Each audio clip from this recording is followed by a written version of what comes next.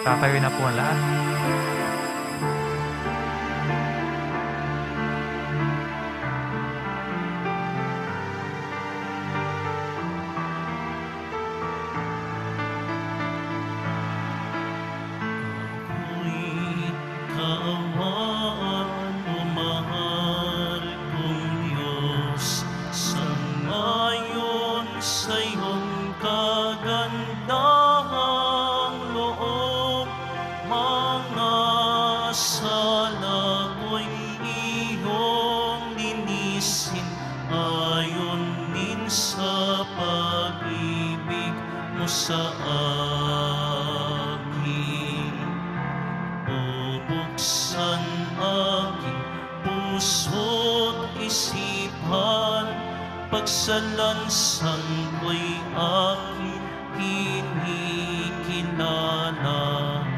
Patawarin yaning kasalanan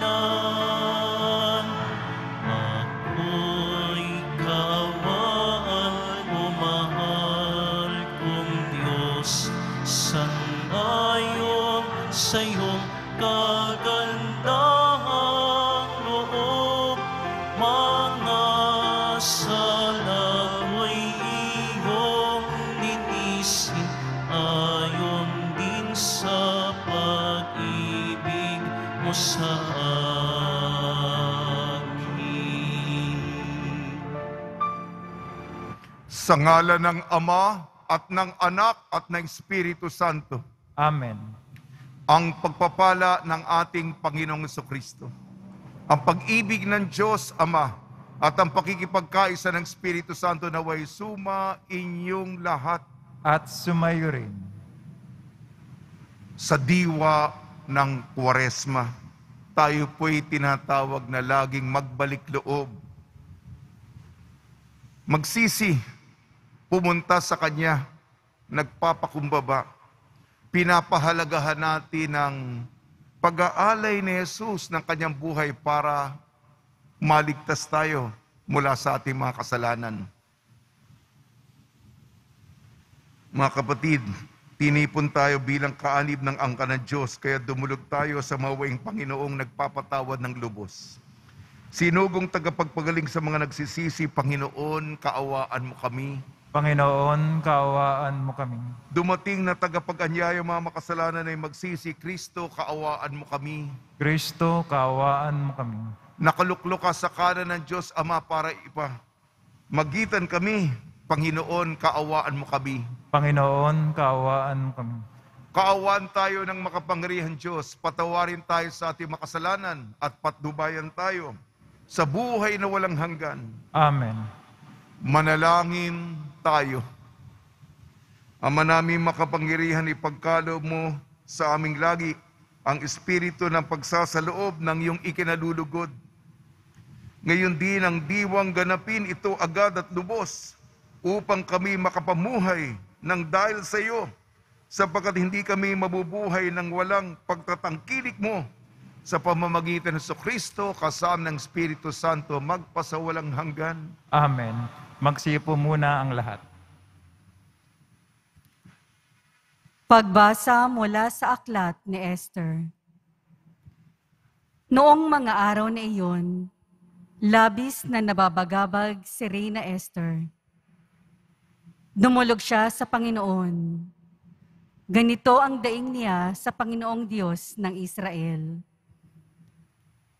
Panginoon ko, tanging ikaw ang hari namin. Tulungan mo ako na ngayoy nag-iisa at walang ibang maaasahang tutulong kundi ikaw lamang.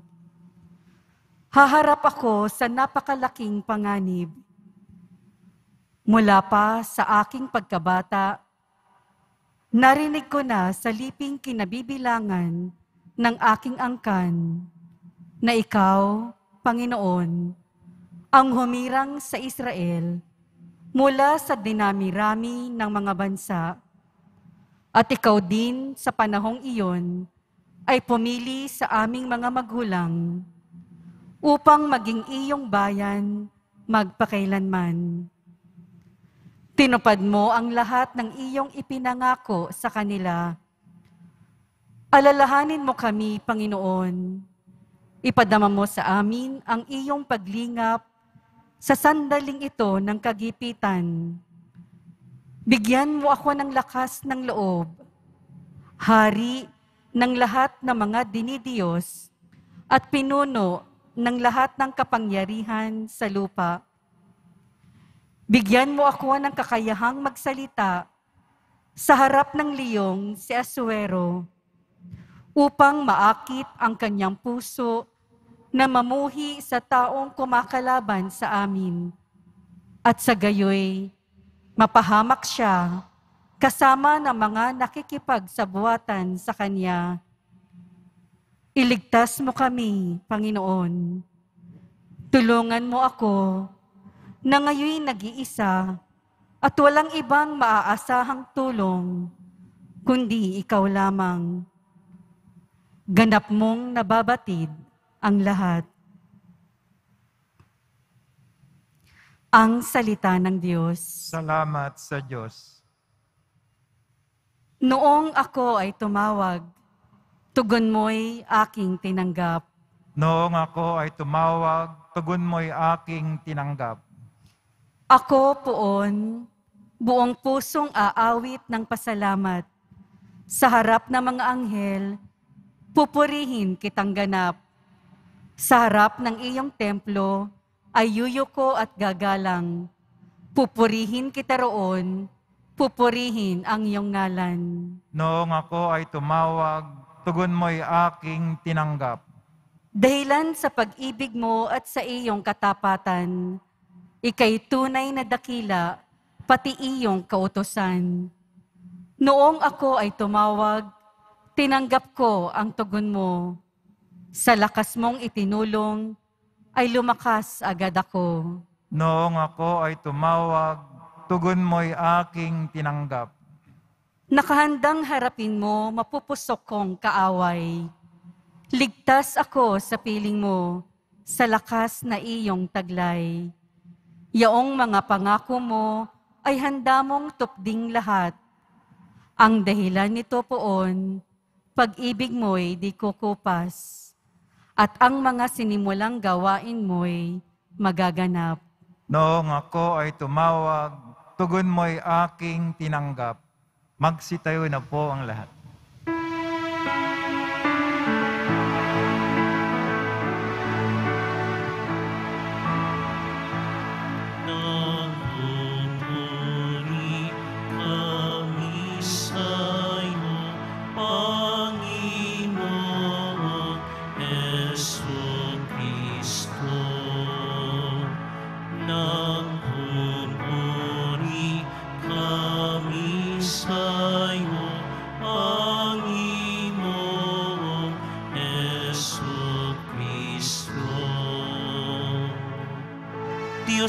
Diyos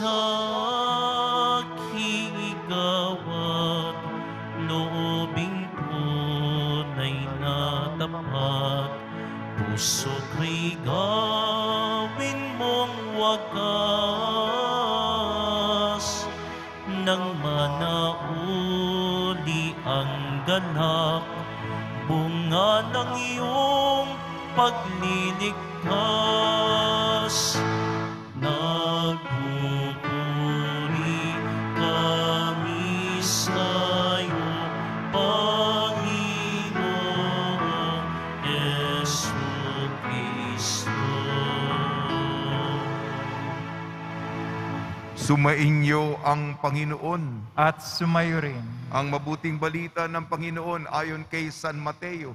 Papuri sa iyo, Panginoon. Nung panong yon, sinabi ni Jesus sa kanyang mga alagad, Humingi kayo at kayo'y bibigyan. Humanap kayo at kayo'y makasusumpong. Kumato kayo at ang pinto'y bubuksan para sa inyo. Sapagkat tumatanggap ang bawat humihingi, nakasusumpong ang bawat humahanap, at binubuksan ang pinto sa bawat kumakatok. Bibigyan ba ninyo ng bato ang inyong anak kung humihingi ng tinapay? Bibigyan ba ninyo siya ng ahas kung humihingi ng isda? Kung kayo na masasama, ay marunong magbigay ng mabubuting bagay. Sa inyo mga anak, gaano pa kaya ang inyong amang nasa langit? Ibibigay niya ang mabubuting bagay sa mga humihingi sa Kanya. Kaya gawin ninyo sa inyong kapwa ang ibig ninyong gawin nila sa inyo. Ito ang kahulugan ng kautusan ni Moises at turo ng mga propeta. Ang mabuting balita ng Panginoon. Pinupuri ka namin, Panginoong Yesu Kristo. Magsiyo po muna ang lahat. Ngayong Koresma, binabati po namin kayo sa pagpapala, pagbibindisyon, pagbibiyaya, pagkakalob ng napakaraming grasya mula sa ating butihing Nuestro Padre Jesus Nazareno. Ang diwa ng salita ng Diyos, ang paglapit natin sa Kanya. Ang pagdulog natin sa Kanya sa desperasyon ng ating kalagayan sa ating unang pagbasa, aklat ni Esther. Ang kwento noon, nasa lumantipan po tayo, natapon sa ibang lugar ang bayan ng Israel. Nabihag sila, nasa kaptibidad sila. Kaya nasa ilalim sila ng ibang mga kapangyarihan na mga umuusig sa kanila. Siyempre, iba-ibang mga lahi. At merong isang makapangyarihan na ibig lipunin, ligpitin, patayin ang bayang Israel. Kalaban, may kalaban sila, may kaaway sila. At si Esther, siya'y reyna. Kasi maganda siya eh napili na napahanga ang hari sa kagandahan niya, pero hindi alam na siya'y Hudyo. At nung panahon noon, ay dahil yung na mga alituntunin noon, kung ang reyna pupunta sa hari na hindi tinatawag, eh pwede siyang ah, papatayin. Kaya dito, sa, yun ang konteksto, maglalakas ng loob. Kasi kung hindi siya paboran, baka mawalan siya ng buhay. E sino magustong mamatay? Pero gagawin niya ito, lalapit sa hari upang makiusap. Upang maligtas sa kanyang bayan. Kaya ang dulog niya, Panginoon, sino ba ako? Mahina ako. Eh, mataas ang aking katungkulan dahil maganda ako. Pero, di naman ako ordinaryong tao lamang ako. Yan ang dasal niya. Gagawin niya ito alang-alang sa kanyang bayan, alang-alang sa kanyang pamilya, alang-alang sa kanyang komunidad. Ah, dahil nagmamalasakit siya sa kanyang bayan kahit na siya'y maaring mamatay, pinapaubaya niya sa Panginoon. Yan ang kanyang panalangin, taimtim na dasal. Hmm. Sa ating ebanghelyo ayon kay San Mateo, humingi kayo at kayo'y makatatanggap. Hanapin ninyo at inyong masusumpungan. Kumatok kayo at ang pinto ay bubuksan. Ang Diyos napakabait. Eh kung tayo, masama tayo, marunong din tayong gumawa ng mga gawain ng kabutihan. Eh ano, ano pa kaya yung ating Ama na nasa langit na pagbibigyan tayo, makahanap tayo, bubuksan ang pinto. Sa kung tayo'y taimtim, kung tayo'y sincero, kung tayo nagmamakaawa, kung tayo nag papakababa, naninikluhod, nakikiusap. Kung maaari lang, kung maaari lang po, kayo po ang Diyos. Ayaw namin kayong pangunahan, ngunit ito po ang aking sitwasyon na wala na akong malalapitan kung hindi ang aking daing. Yung hiling sa unang pagbasa, noon yun. At sa Ebanghelyo at ngayon, wala namang nagbago. Ang kalagayan ni natin, makikita natin sa mukha ng isa't isa. Kaya nandito tayo sa simbahan, eh meron tayong hinihiling sa Kanya. Naway tayo paboran. Sa tulong ni Maria at ni San Jose, nawa po ay lagi tayo maging pursigido. Lagi tayong kumatok, lumapit, humingi sa harapan niya. Magsitayo na po ang lahat.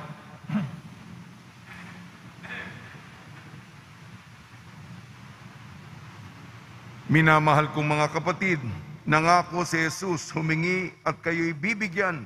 Lumapit tayo sa ating amang nasa langit na may pag-asa at tiwalang katulad ng panalangin ng Panginoon. Ang tugon po natin, butihing Ama, tumugon ka sa amin. Butihing Ama, tumugon ka sa amin. Sa buong simbahan sa daigdig, naway lumaganap ang mataimtim na pananalangin. Manalangin tayo. Butihing Ama, tumugon ka sa amin. Ang mga taong nalululong sa masasamang bisyo at nasasadlak sa kasalanan, naway humingi ng kapatawaran. Manalangin tayo. Butihing Ama, tumugon ka sa amin. Tayo naway manatili sa pananalangin kahit tayo ay pinanghihinaan ng loob dahil sa mga kabiguan sa buhay. Manalangin tayo. Butihing Ama, tumugon ka sa amin. Ang mga may sakit, naway makita ang kahulugan ng kanilang pagtitiis sa kanilang karamdaman. Manalangin tayo. Butihing Ama, tumugon ka sa amin. Ama naming nasa langit, pinasasalamatan ka namin sa pagdinig mo sa aming mga kahilingan. Hiniling namin ito sa pamamagitan ni Kristong aming Panginoon. Amen. Magsiyo po na po ang lahat.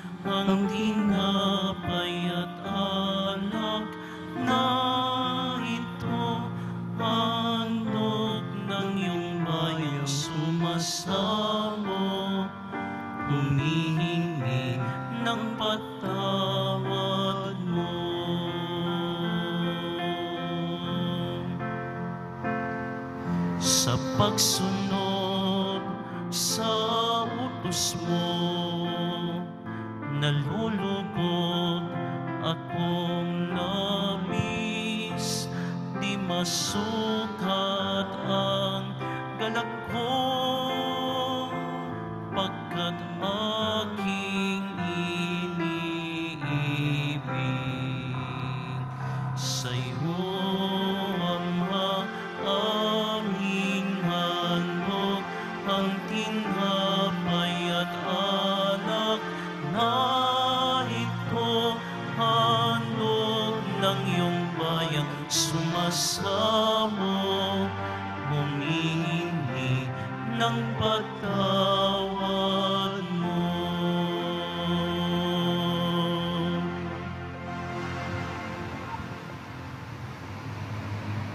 Magsitayo na po ang lahat. Manalangin kayo mga kapatid upang ang ating paghahain ay kalugdan ng Diyos amang makapangyarihan. Tanggapin nawa ng Panginoon itong paghahain sa iyong mga kamay sa kapuri niya at karangalan sa ating kapakinabangan at sa buong sambay ng banal. Ama namin lumikha, maging kalugod-lugod nawa ang aming panalangin at mga alay na aming inihahain upang paunlakan mo ang aming pagdulog at ang kalooban namin ay maakit sa iyo ng lubos sa pamamagitan ng Kristo kasama ng Espiritu Santo magpasawalang hanggan. Amen. Sumainyo ang Panginoon. At sumayo rin. Itaas sa Diyos ang iyong puso at diwa. Tinaas na namin sa Panginoon. Pasalamatan natin ang Panginoong ating Diyos. Marapat na siya ay pasalamatan. Ama naming makapangyarihan, tunay nga marapat na ikaw ay aming pasalamatan sa pamamagitan ng Kristo na aming Panginoon. Sa pagbabakasakali mo kami bubuti, isinugo mo si Yeso Kristo upang pangunahan kami bilang pagsunod sa iyong atas na bigay. Ipinahayag ng iyong anak ang iyong kalooban na ang mga apit dukha ay kanyang damayan. Ngayon ay inyong inihahandog ang pagkakataong aming maisaloob ang kanyang ganap at kusang paglilingkod upang sa iyo'y lagi kaming makasunod. Kaya kaysa na mga anghel na nagsisiawit ng papuri sa iyo nang walang humpay sa kalangitan kami nagbubunyi sa iyong kadakilaan. Santo, Santo, Santo, Panginoon Diyos ng mga hukbo, napupuno ang langit at lupa ng kadakilaan mo, o sana sa kaitaasan. Pinagpala na paririto sa ngalan ng Panginoon, o sana sa kaitaasan. Magsilod po ang lahat. Ama naming banal, ikaw ang bukal ng tanang kabanalan. Kaya sa pamamagitan ng Espiritu, gawin mong banal ang mga kaloob na ito upang para sa amin maging katawan at dugo ng aming Panginoong Yeso Kristo. Bago niya pinagtiis ang kusang loob na maging handog, hinawakan niya ang tinapay, pinasalamatan kanya, pinaghati-hati niya yun, iniabot sa kanyang malagad at sinabi, Tanggapin ninyong lahat ito at kanin, ito ang aking katawan na ihahandog para sa inyo.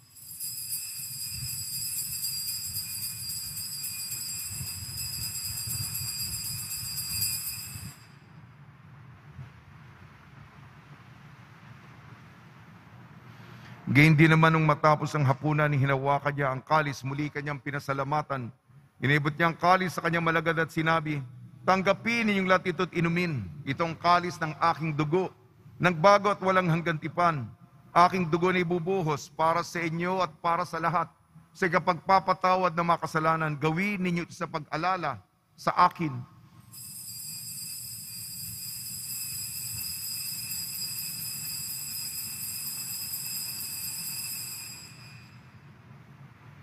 Magsitayo na po ang lahat. Ipagbunyi natin ang misteryo ng pananampalataya. Kristo'y namatay, si Kristo'y nabuhay, si Kristo'y babalik sa wakas ng panahon. Ama, ginagawa namin ngayon ang pag-alala sa pagkamatay at muling pagkabuhay ng iyong anak. Kaya tiniaali namin sa iyong tinapay na nagbibigay buhay at ang kalis na nagkakaloob ng kaligtasan. Kami nagpapasalamat dahil kami minarapat na tumayo sa harap mo para maglingkod sa iyo.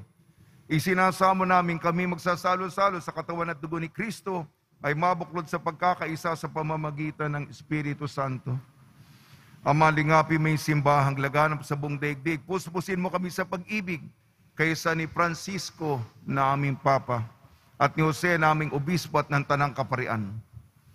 Alalahanin mo rin ang mga kapatid namin na himlay na may pag-asang sila'y muling mabubuhay. Gayon din ang lahat ng mga pumanaw. Kaawan mo sila at patuloyin sa iyong kaliwanagan. Kaawan mo at pagdapating kami lahat na makasalo sa iyong buhay na walang wakas kaysa ng mahal na Birhing Maria na ina ng Diyos. Nuestra Señora de la Buena Hora, ng kabiyak na puso niyang si San Jose kaysa ng mga apostol, ni San Juan Bautista at ng lahat ng mga banal na namuhay dito sa daigdig ng kalugod-lugod sa iyo. May pagdiwang nawa namin ng pagpupuri sa ikararangal mo sa pamamagitan ng anak na aming Panginoong Heso Kristo. Sa pamamagitan ni Kristo kasama niya at sa Kanya, ang lahat ng parangal at papuri ay sa iyo, Diyos amang makapangyarihan, kasama ng Espiritu Santo magpasawalang hanggan. Amen. Sa tagubili naman nakakagaling na utos sa turo ni Yeso Kristo na Panginoon natin at Diyos, ipahaig natin ng lakas loob. Ama namin, sumasalangit ka, sambahin ang ngalan mo, mapasa amin ang kaharian mo, sundin ang loob mo dito sa lupa para nang sa langit. Bigyan mo kami ngayon ng aming kakanin sa araw-araw at patawarin mo kami sa aming mga sala para ng pagkapatawad namin sa nagkakasala sa amin. At huwag mo kaming ipahintulot sa tukso at adya mo kami sa lahat ng masama. Hiniling namin kami iadya sa lahat ng masama. Pagkalooban ng kapayapaan, araw-araw iligtas sa kasalanan at ilayo sa lahat ng kapahamakan. Samantalang aming pinananabikan ang dakilang araw ng pagpapahayag ng tagapagligtas naming sa Yeso Kristo. sapagkat iyo ang kaharian at ang kapangyarihan at ang kapurihan magpakilanman. Amen. Panginoon sa Kristo, sinabi mo sa iyong apostol, kapayapaan ay iniiwan ko sa inyo. Ang aking kapayapaan ay binibigay ko sa inyo. Tungyan mo ang aming pananampalataya at huwag ang aming mapagkakasala.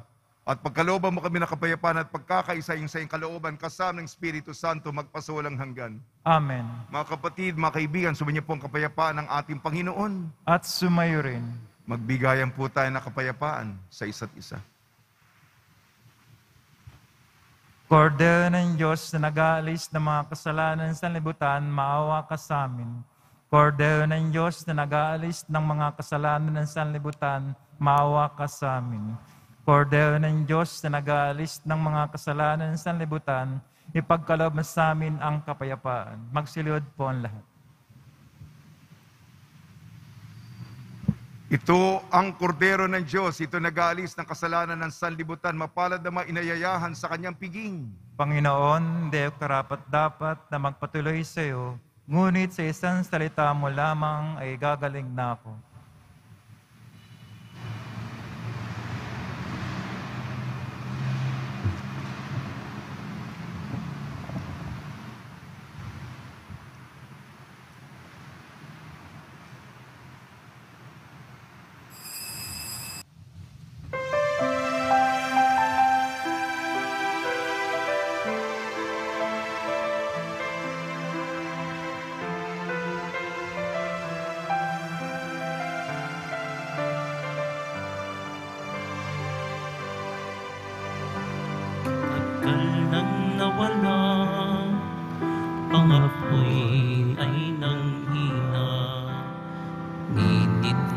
Ng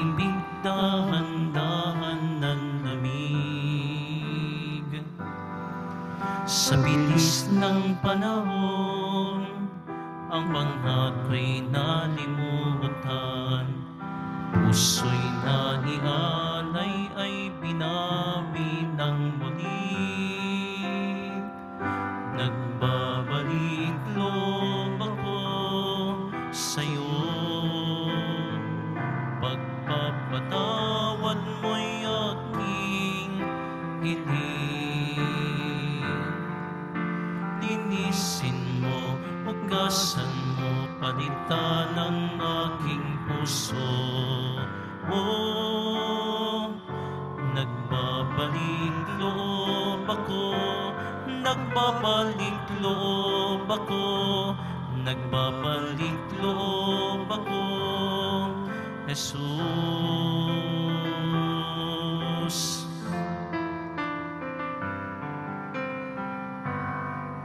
Kay tagal nang nawala Ang apoy ay nanghina. Init ng pag-ibig Dahan-dahan ng lamig. Sa bilis ng panahon Ang pangako'y nalimutan.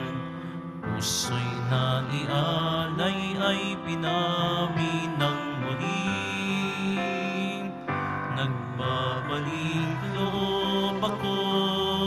sa'yo. Pagpapatawad mo'y aking hiling. Linisin mo, hugasan mo, palitan ang aking puso.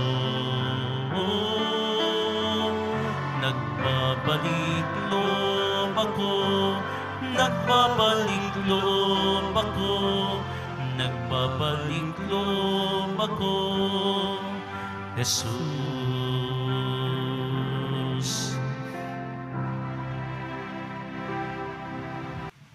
Magsitayo na po ang lahat.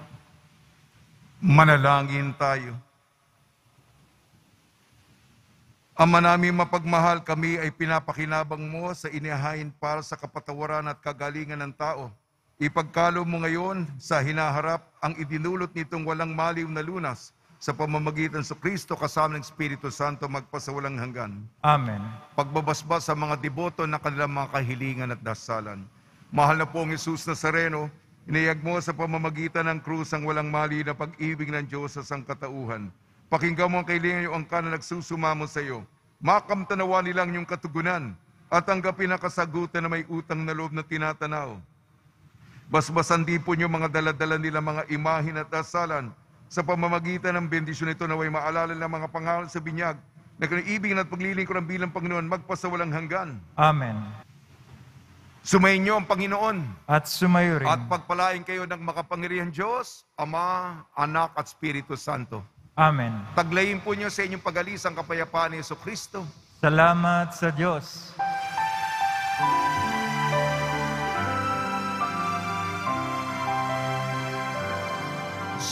Padre Jesús Nazareno, sinasamba ka namin.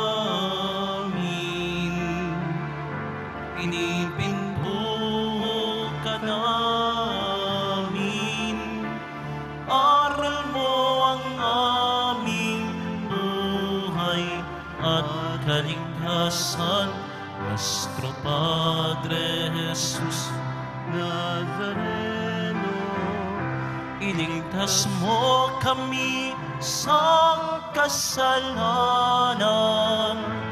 Ang krus mong kinamatayan ay sagisag ng aming kaligtasan. Nuestro Padre Jesus Nazareno, dinarangal ka. Nuestro Padre Jesus Nazareno, nilulwalhati ka namin. Nuestro Padre